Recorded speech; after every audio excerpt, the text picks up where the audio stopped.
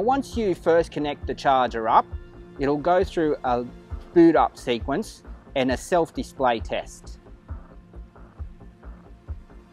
Once that finishes, it will automatically default to AGM battery type. Now to select a battery type, simply pr press and hold the mode button for about 10 seconds. And as you can see, the battery LED will start to flash. To select the battery type, press the mode button quickly and it will change.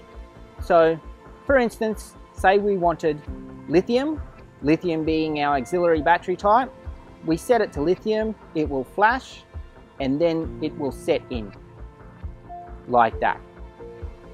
So now we'll go through the charging modes on the left display, which are solar, alternator and the charging status indicator. Now if the charger is disconnected or the vehicle battery's 8 volts or less, there'll be no display. Now normally your start vehicle battery is above 8 volts and it's nice and charged around 12.8 or thereabouts. So what you'll get with a healthy start battery is the alternator light flashing 1 second on and 5 seconds off like we have now. Okay, start vehicle. Once the vehicle is started, you'll see your alternator light go solid green. This means that the voltage from the start battery and your charging system is at 13.4 volts. What will happen now is there will be a 120 second delay before the unit starts charging. So in 120 seconds, the charging light down here will come on as it's just done now and flash and indicate that your auxiliary battery is now being charged.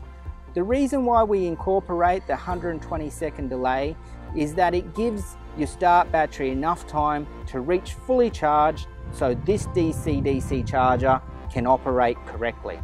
You'll see now that the unit is also in the bulk start charging stage and your auxiliary battery is being charged.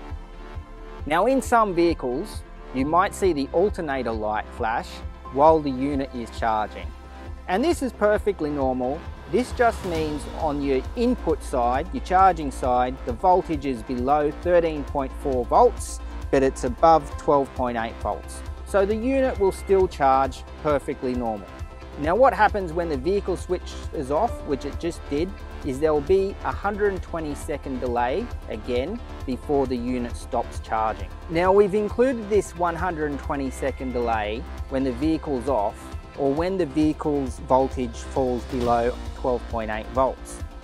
We've done that because the smart alternators or temperature compensating alternators may drop voltage and what this 120 second delay is it gives a little bit of a buffer until the alternator charges again. So this is a really great feature to keep the consistency of the charger charging.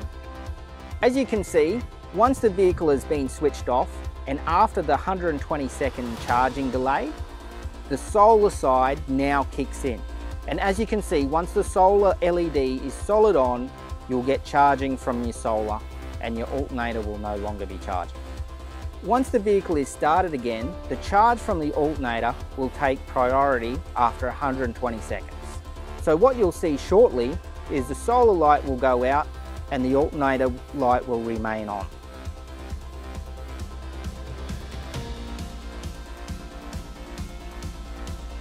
So as you can see, the solar light's now gone out and the alternator has taken priority charge.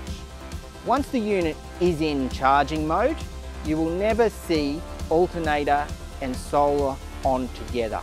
You might see them on together once the unit is in the 120 second delay mode, but once the charging mode is on, you will never see them both on together. Now a really good feature of this charger is the fault mode indication system. And one really important fault mode indicator is when you haven't got your auxiliary battery connected.